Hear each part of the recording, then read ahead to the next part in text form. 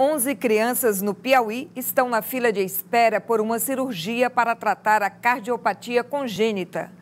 Como a operação não é realizada no estado, o programa de tratamento fora do domicílio banca as despesas para que as crianças sejam operadas fora daqui. Uma viagem que pode salvar uma vida.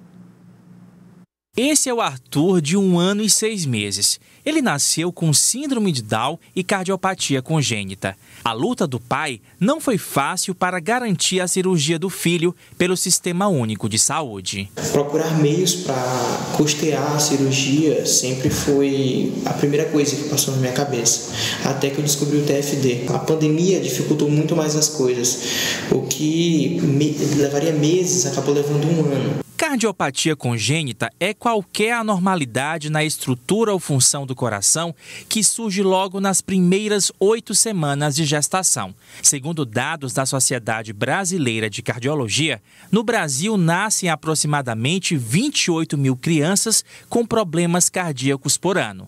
De acordo com a Secretaria de Estado da Saúde, no Piauí, 11 crianças estão na fila de espera para realizar a cirurgia de correção. Como o Estado não faz esse procedimento, os pacientes são encaminhados para hospitais de referência. O valor dessa cirurgia para o SUS depende de cada caso. É através exatamente da regulação é que os pais, né, principalmente dessas crianças, podem dar início ao processo né, de TFD. Em 2019, 40 crianças se submeteram a essa cirurgia em outros estados. Neste ano, por conta da pandemia, apenas quatro procedimentos foram realizados. São casos emergenciais.